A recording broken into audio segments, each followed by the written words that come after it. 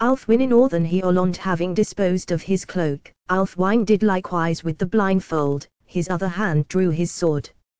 Another arrow came out of the fog and struck his leather armor, which Alfwine ignored.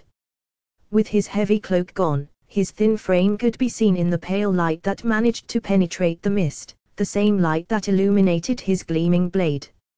Two of the muggers came charging forward while Alfwine stood calmly awaiting them, as they reached him, he evaded their short blades with the ease of the wind passing through the branches of a tree. Two quick strokes blooded his sword and felled them both. Another arrow came flying through the air, striking him in his side, which caused a sharp inhalation in pain through gritted teeth. As Alfwine moved forward, the mist was thin enough that his remaining attackers were visible.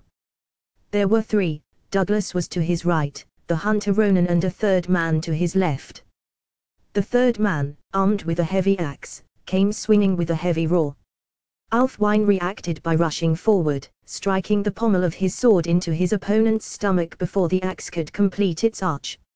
Momentarily incapacitated, the third man dropped his axe and could not prevent Alfwine from seizing him under the shoulder, turning, Alfwine used his captive as a living shield, protecting him from Ronan's arrows. This proved unnecessary though, with his keen eyes, the hunter had a good glimpse of Alfwine and had already lowered his bow with a look of disbelief and terror.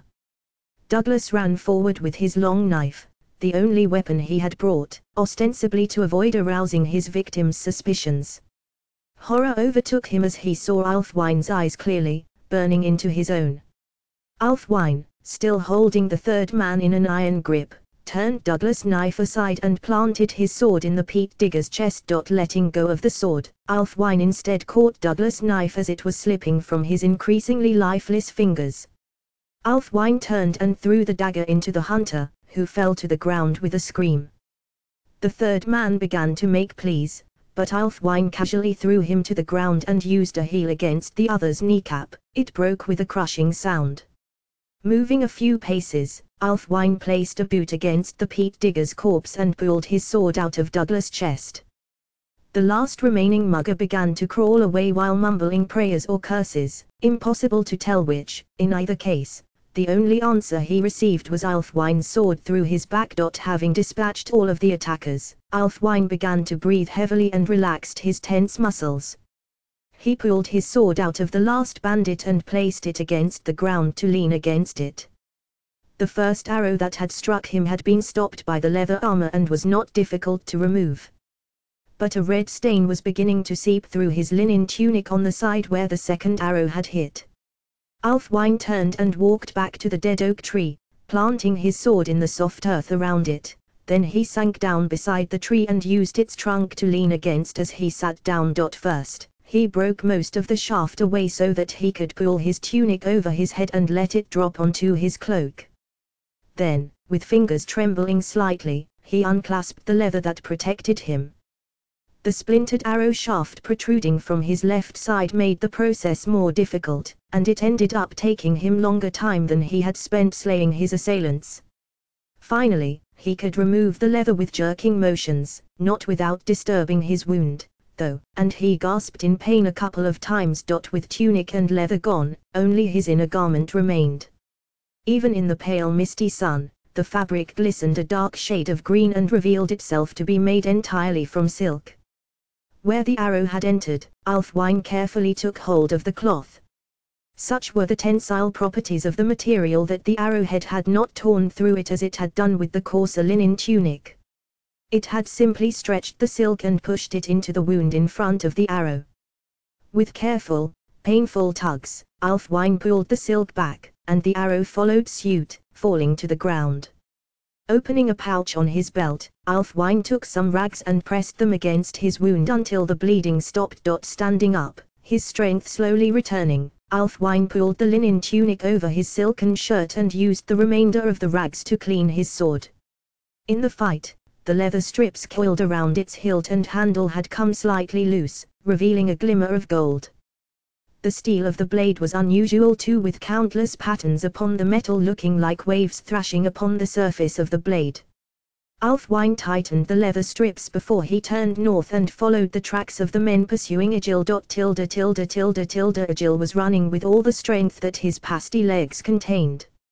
Unfortunately, being apprenticed to the king's quill meant mostly working with one's hands while sitting down, so his speed and endurance was not particularly impressive.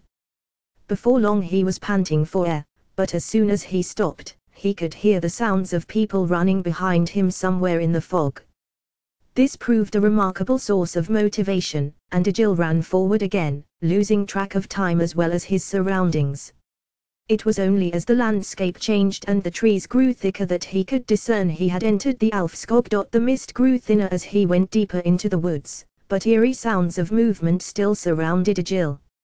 It also meant that once his pursuers caught up, the mist would not help conceal him, only the trees could. It was impossible to tell if the sounds were coming from behind or ahead, if maybe it were only birds and small creatures, if it were nothing at all or perhaps something to fear. Eventually Agil had to stop again and catch his breath. His eyes darted in every direction, but he saw no other living creature. Moments passed, and it seemed he was safe. There was no sign of the bandits pursuing him despite his lengthy pause. It was possible they had lost track of him or that they had not dared pursue him, the more chilling thought was that something had prevented them. Unsure what to do, Agil stood wavering until a scream pierced the air and helped spur his decision process. With newfound strength, he ran deeper into the forest while calling out the names of all the gods, even begging the Hidden One to save him. Any deity who would deign to listen seemed acceptable to the former temple novice. The screams stopped, though it was impossible to say whether it was because Agil had moved out of range or because the source was no longer able to scream. Agil stopped, looking around as if he could gain his bearings or know from his surroundings what to do. He leaned against a large bough tree with his left hand, having completely exerted himself. As he did this, his sleeve slid away a bit and revealed the dried blood on his arm. Taking a few deep breaths, he pulled the sleeve all the way up and scratched some of the dry blood away. The cuts were shallow and had not bled much, and Agil turned his head trying to view the mark from different angles. It appeared to be a rune of some kind, but it was unlike anything found in the royal library. Rubbing his damaged skin, Agil turned around. Then he opened his mouth to scream in panic, but no sound came out. Standing less than ten feet away was a man of some sort. He was clad in brown leather that blended well with his surroundings, though his skin was exceedingly pale, uncomfortably so. Two things drew attention above all. Firstly that the other person's eyes were not human by any measure. What should have been white was completely green, and the inner part of the eyes was not divided into circles with a black center. No, the entire inner part, iris and pupil, was one color as if blind. However, this creature had the power of sight, for those bewitching eyes were focused on Agil. Furthermore, in his hands the eerie stranger held a bow with an arrow pointed at the boy, which was the second thing worthy of note. He opened his mouth and spoke sounds that Agil had no understanding of at all. It did not sound like any tongue of men. It flowed like a river, came swiftly and furiously, and tears formed in Agil's eyes. Please, don't hurt me. I beg of you by the seven and eighth, do not hurt me. The archer repeated syllables like those spoken before, and this time he used the redded arrow to gesture towards Agil's lower arm. Looking down, Agil's eyes widened as he saw the crude mark etched into his own skin. Yes. Don't hurt me, please. Whatever this is, don't hurt me. I'm not a threat, I'm not a bandit he pleaded to no avail, the archer's sounds grew increasingly angry please. Alfwine made this mark, he promised it would protect me. Alfwine. The stream of eerie words stopped, replaced by one recognizable in Merc speech yes. Alfwine, he made this. You know him. Alfwine, the archer repeated. He spoke again in his own language, but it was not directed at Agil. Behind the boy, another warrior stepped out from between the trees, and a shock went through Agil as he became aware of the second archer's presence. The new warrior walked in a circle around Agil to stand next to his companion, at all times he kept a redded arrow pointing at Agil, They conferred briefly, speaking rapidly. Finally, they seemed to reach some kind of conclusion. Both eased their arrows and returned them to their quivers. They lowered their bows and inclined their heads in greeting. Alfwine they both said. Dottigil gave an audible sigh of relief until an expression crossed his face. Alfwine. He needs our help. Please, come, he said, pointing to the direction he had come from. The archers stood frowning and exchanged glances. Hoping to spur them into action, Egil began running back south.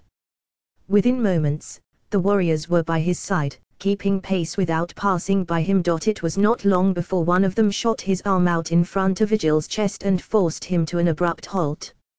He pulled the boy away from the track they had been following through the forest, and both archers placed an arrow at the ready.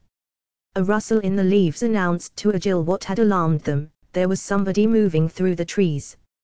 A tall shape appeared, and the frail evening sun managed to land a few rays to illuminate its blooded tunic and the sword in its hand. Looking up, Egil saw the same eerie eyes that the two archers had. It was his traveling companion of several weeks. The warriors from the woods likewise seemed surprised, but recovered quickly. They lowered their bows, falling to the ground in submission, their left knee touched the dirt before they rested their right elbow upon the other. Their hand remained open, outstretched in a gesture that strangely resembled the hands carved into the altar of the temple in Middenhall. While Egil observed all of this, the other three quickly conversed in the speech that meant nothing to him. It went back and forth for a short while, seemingly with Alfwine asking questions and receiving answers. Finally the two archers rose, inclined their heads to Egil again and left, leaving barely a trace of their presence. Come on Alfwine said. We have to collect my gear. Egil stood bewildered and then finally exclaimed, You can see. Your powers of observation continue to serve well Alfwine said with a hint of a scornful smile as they moved out of the woods. Yes, I too have those very powers at my full disposal. But why? Why pretend to be a blind man? We've been on the road for weeks Egil complained. Alfwine did not respond but merely turned and set his eyes on Egil. It was unnerving enough that where they should be white, they were green, but the center burned blue with such intensity, Egil was forced to look away. I suppose the blindfold makes sense Egil acknowledged reluctantly it allows me to move unhindered, unnoticed, yet it is thin enough that I can perceive what is near me. Why are your eyes like that? And there's, those men I met the boy by his side asked impress me with your skills in reasoning Alfwine said with his unnerving smile they weren't men Egil said, speculating. Not human, I mean. Nor dwarfs. He suddenly shied away from Alfwine. Are you demons? he asked with a quaking voice nothing quite as terrible Alfwine replied, his smile turning sardonic. Now that his eyes could be seen along with the rest of his face, it made his expression seem all the stronger and far more intimidating what lives in the Alfskog. Egil asked himself, still keeping some small measure of distance between them. Alfskog. Alfwine. In the Elder tongue, Alfskog means elves. Those archers were elves. You are elven folk he said in realization, stopping dead in his tracks while looking at Alfwine in fear. Well done, young Master Egil Alfwine said, turning his terrible eyes onto the boy. That's why people fear the Alfskog. They kill them, everybody who enters. Your people kill them. Most Alfwine admitted. Those who take to the woods are rarely good people. But not all the elf finished and began walking again. Oh, right. Me Egil said awkwardly. Why did you help me this way? I could not know how many they were Alfwine answered. While they were clearly not warriors and little match for me, some of them could easily have killed you while I was fighting. I sent you into the fog and the woods, hoping that would keep you safe. But why save me? Why have your warriors protect me? Alfwine stopped again, this time looking at Egil with a frown. I gave my word. My honor is entwined with your survival. How could I have acted differently? But, you're a beggar Egil objected. You're not a knight or a lord. Who knows you or would know that you broke your promise? None would ever know that you broke your word.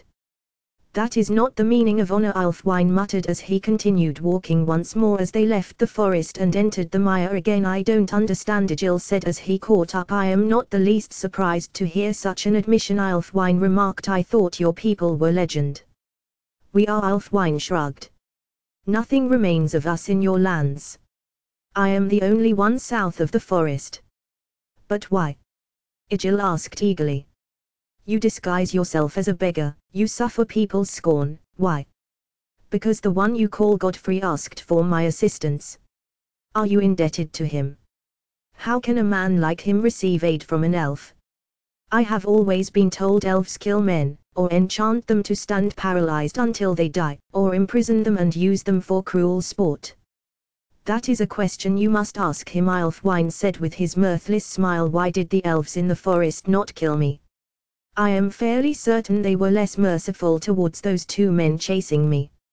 Another reason I hide under a shroud of deception Alfwine said, stroking his forehead with his fingertips. It spares me the onslaught of questions from curious children. Sorry Egil said in apology. It just seems rather coincidental that I am still breathing air, while they ended up riddled with arrows. If you want to know, figure it out on your own Alfwine told him they spared me because of you Agil said, beginning his speculations once more. They knew the name Alfwine. Except they didn't speak Merc speech, so they probably know you by another name. A few moments passed while Agil continued to utter his musings. But they did recognize Alfwine. They knew it, it made them lower their arrows. He scratched his left arm, which was attracting insects. Looking down, he glanced at the mark. The sign you carved in my skin he said in slow realization. Alfwine. It means elf friend in the old speech. They weren't repeating your name. They acknowledged me as an elf friend he said with a triumphant voice indeed Alfwine replied, his smile seeming genuine for once. In the old days, if we were indebted to one of your kind, we would mark their skin in this manner permanently with dye. To be an elf friend meant we looked upon that person as one of our own, someone to be given every aid. Is Godfrey an elf friend? A good guess Alfwine acknowledged, but no I suppose I consider him such. But I do not think there has been an elf friend in a thousand years. What about me? Egil said hopefully. Alfwine burst into laughter for the first time since they had begun their travels together not quite, young Master Agil. Those cuts will fade and barely leave scars. I would not enter the Alfskog again if I were you. It will not save you a second time. Why was I sent with you? If you can see. You can obviously handle yourself Agil said contemplatively the land has changed Alfwine said quietly. Cities, towns and villages, roads. I have not been here in a long time. They had reached the dead oak tree and where Alfwine's things were still lying scattered, surrounded by the corpses of their attackers I still can't believe they were going to kill us Agil said and shivered as he looked at the dead villagers. For what? The few silvers in our purse. Apparently Alfwine speculated as Agil helped him put on his cloak, then he gave the boy the leather jerkin to hold. In any case, we still have a task to fulfill. I just need to rest a bit he said, sitting down in the same position with his back against the dead tree. Egil the elf continued, I must elicit a promise from you. Yes. When you recount this story to your master or anybody else, make no mention of my nature.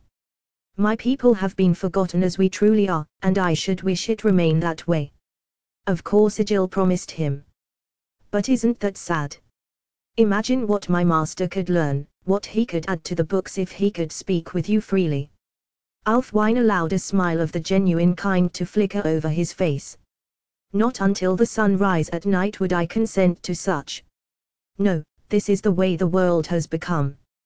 Once I see you safely returned to Middenhall, I shall disappear. I do not think that you, or any other of your kind, will see an elf again in this lifetime but Agil began to object, but a raised hand from Alfwine silenced him no more Alfwine commanded. I will abide no further questions. He took the blindfold and bound it around his head. I am a beggar once again, nothing more. Tilda tilda tilda tilda they ended up spending an unpleasant night in the bog. It had been too late in the evening to seek elsewhere except perhaps the village where their welcome would be doubtful. Egil spent most of the night waking up to scratch his itching wound or fend off insects attracted to it. When a new day dawned, however, Alfwine shared some information he had been too tired to mention the day before. The elven scouts had told him they knew of a hunter living in a lonesome cabin due west, they observed him from time to time in case he ever ventured inside the woods. While they knew nothing more, naturally having no contact with him, Alfwine and Egil decided to test their luck well met Alfwine called out as they approached his cabin. We are travelers seeking aid and glad to pay for it. They heard the sound of the door being unbolted, an old man appeared in the doorway. Pay, you say? In good silver Egil added well, you don't look like highwaymen the old man mumbled and gestured for them to enter. Mind you, you can't be too careful. There's a village not far from here, they always give me the bad eye when I go there to sell my furs. We are acquainted with its inhabitants Alfwine muttered. We require your services, however, in regards to your knowledge of the area. Are you familiar with Glen Hollow? I the old man replied. It's not far from here, some hours' march. What remains of it? And the site of the battle. Where the Prince Sigmar was slain. That too the old man confirmed. About the same direction, but not much more than an hour or two. Can you take us there? Today, if possible. Sure the old man said, hesitating only slightly. You mentioned, your compensation, of course Alfwine said, digging into his cloak and letting several silver pieces fall onto the table in front of him.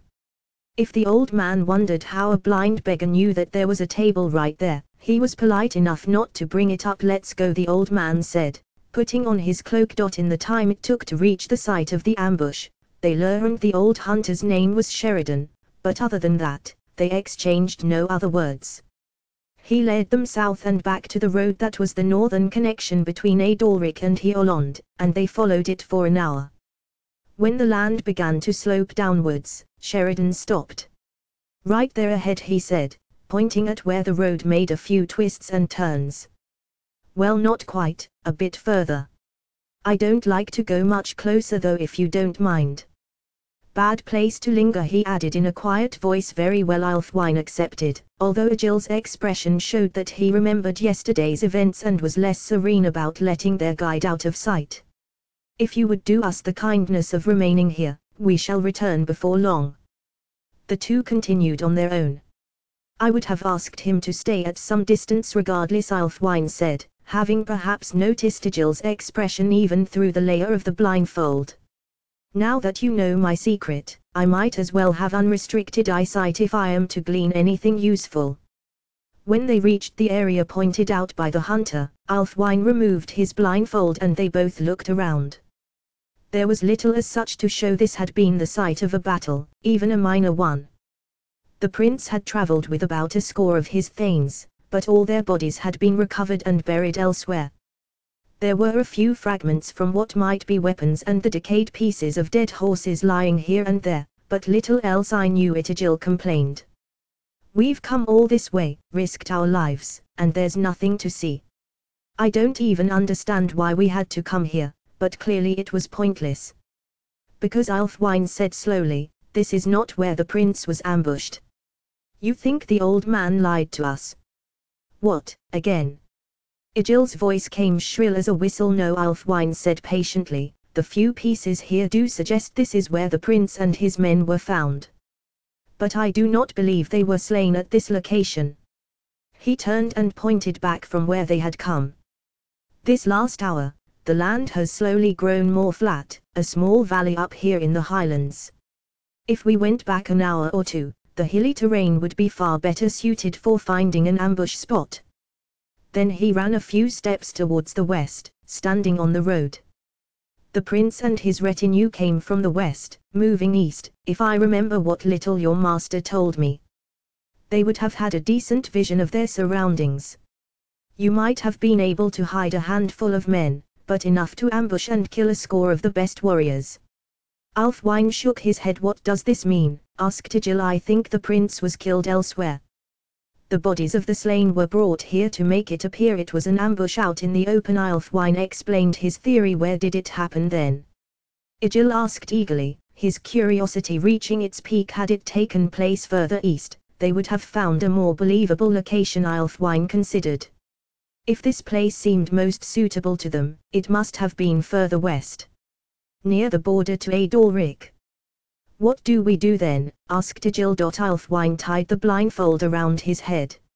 Let us return to our local wayfarer. The pair walked the short distance back towards the hunter.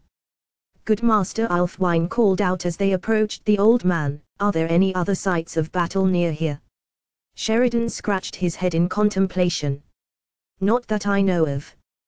Well except Glen Hollow, of course, the village where the prince's attackers came from. It was burned down in retribution, they say. You are sure? Steps might have been taken to conceal that such a skirmish took place. Well, I can't be sure then, can I? But I know how to track animals and read the land the hunter retorted. If there were any signs to see, I'd have seen them. In that case, if you would kindly take us to Glen Hollow, it will be worth your while Alfwine promised. Sheridan did not object to leading them to the ill-fated village, though he took a path that avoided the road and the presumed place of where the prince was ambushed. While Egil several times seemed inclined to ask questions of Alfwine, the presence of the uninitiated old man kept his words back. At length they reached what remained of Glen Hollow. It would have been a pleasant little village, well situated near a brook and surrounded by what seemed like sufficiently fertile lands. Most buildings were burned almost to the ground, however, and those remaining were little more than derelict ruins. It seemed large enough that it might have held up to a hundred people, but it was clear that none had lived here for many years. As before, Sheridan preferred to keep his distance while Alfwine and Egil followed the road into the village. They walked around, examining every house. What are we searching for? asked Egil. Anything that might support our speculations Alfwine said, turning his eerie eyes in every direction. They walked through burnt down walls and half-collapsed roofs, pushing destroyed furniture aside. The bodies of the slain villagers were not in sight, but occasionally they found evidence of death as well. It was little more than bones, however, since the elements and animals had devoured the rest found something Egil called out, bending down to pull it free. Oh, it's just a pair of tongs he said disappointed. This must have been the smithy. The rest of the smithy yielded nothing, and they continued their search. Found something. No, wait, it's just a log. With the soot I thought it looked like, never mind. An hour passed. Found something. Oh, the head of a hammer. Probably belonged to a cobbler or something. Are your idle speculations aiding you in searching these ruins? Alfwine asked sharply no Egil admitted with a blush. It's just odd, knowing that people lived here once. A blacksmith, a cobbler, a weaver, ordinary people he said, his voice trailing off as he bent down and picked something up. What's this? Alfwine moved over. While the shaft was broken, it was without doubt an arrowhead. Now this is interesting he said you think this means something. Egil asked excitedly perhaps. Does your song mention what happened exactly? How the village came to be in this state? It doesn't Egil said but the stories say that the prince's slayers came from the village and they were killed as punishment. Some claim that a few of the things escaped the ambush and returned here, killing all they found. Others say that the order burned down the village later in retribution. Why? I had ample chance to examine the local arrowheads yesterday Alfwine explained.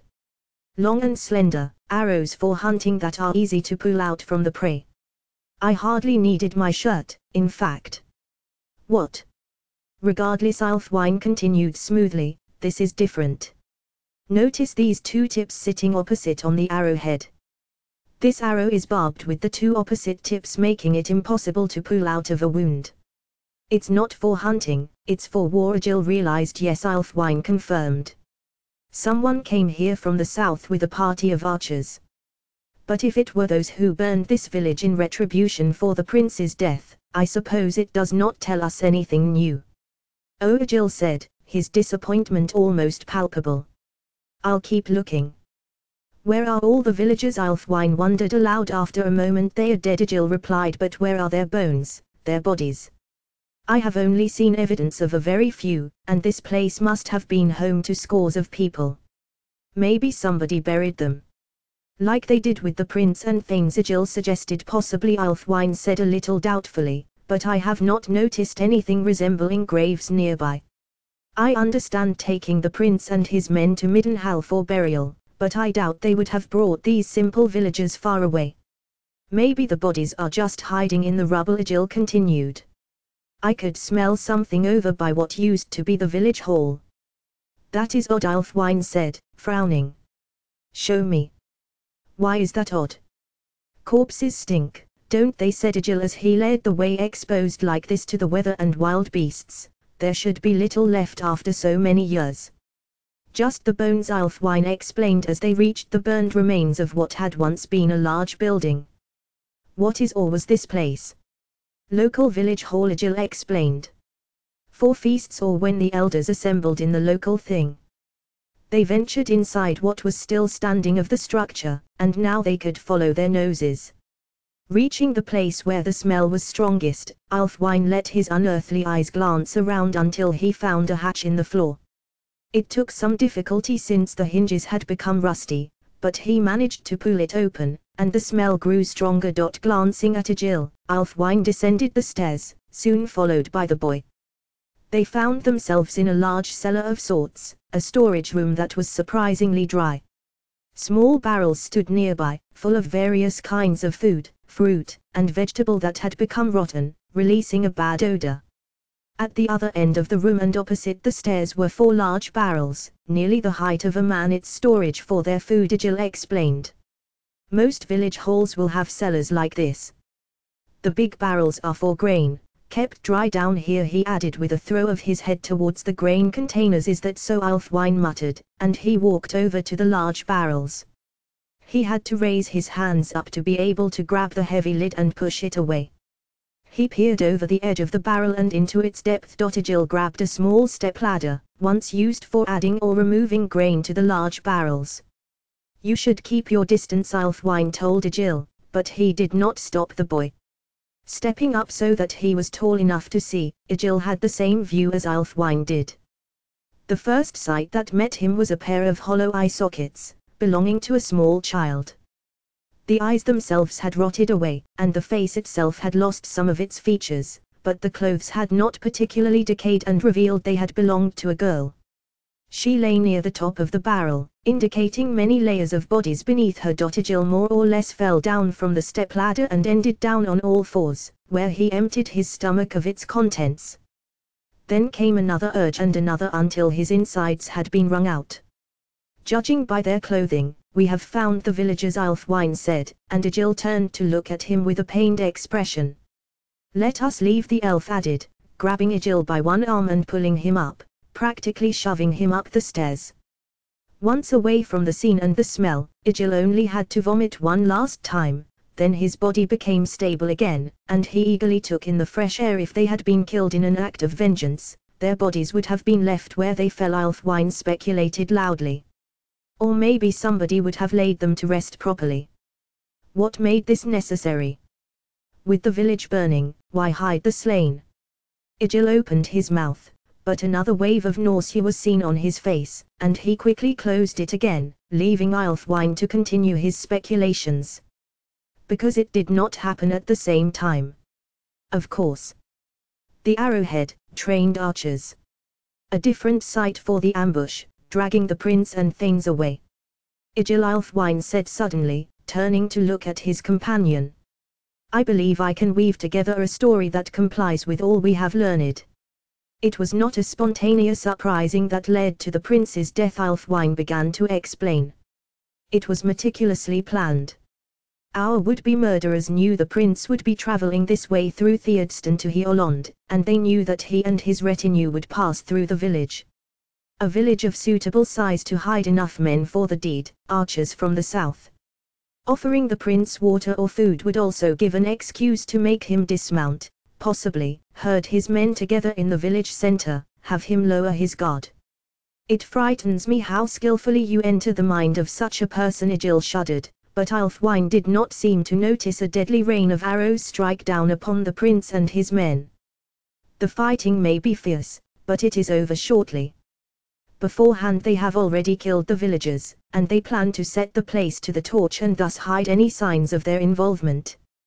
But they must pretend the village burns as vengeance for the slain prince. So first they drag the bodies as far as they can east, further into Clan Boyd's territory. Afterwards, they burn Glen Hollow to the ground and disappear west into Adalric.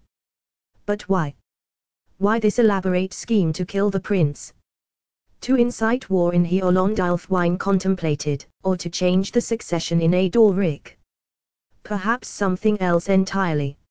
It could be we are mistaken in our deductions, though I do not think so. What do we do? We return to Middenhall, where you report our findings to your master. As they left the ruins, the old hunter was still waiting for them. It was approaching evening, but the long summer day allowed them to reach his home before it grew dark. Alfwine paid him another handful of silver coins for his services and for letting them spend the night in shelter.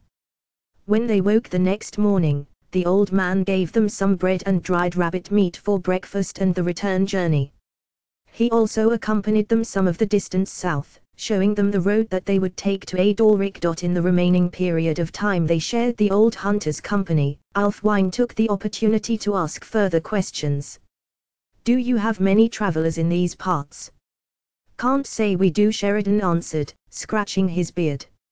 You two are the first I've seen this year. There were more, before the war, mostly traders and peddlers bidding their wares to the villages. Do you recall any who caught your attention the same year that the prince was slain? One who like us was mostly interested in the lay of the land. There was one around that time, who caught folks' curiosity back in Glen Hollow. Not because of any interest in the land, though, but because he had a gold coin. Don't think any of the people in that village had ever seen one before the old man laughed nor me, come to think of it. That sounds strange Egil said.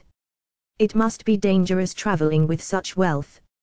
Or perhaps it was a precaution against danger Alfwine told him. A heavy bag of silver is easy to notice and have stolen from you. A few gold coins, sewn into your clothes, would carry more wealth and escape notice as well. As long as you can find somewhere to spend such coins, of course, which I imagine is difficult up here.